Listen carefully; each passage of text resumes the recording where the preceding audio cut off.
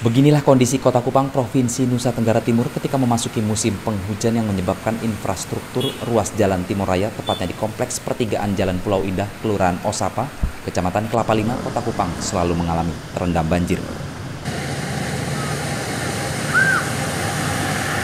Meskipun berada di ibu kota provinsi NTT, namun ruas jalan dengan status jalan nasional di wilayah Pulau Timur yang menghubungkan beberapa kabupaten di NTT hingga jalan penghubung ke negara Timur Leste ini tidak diperhatikan pemerintah sudah sejak lama. Kondisi ini pun selalu membuat kemacetan arus lalu lintas, bahkan hingga terjadi kecelakaan lalu lintas.